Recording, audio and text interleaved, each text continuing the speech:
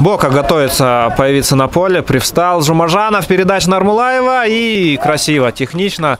Армулаев э, с Жумажановым Нургали разыграли стеночку. И в пустые ворота закатил мяч Жумажанов Нургали.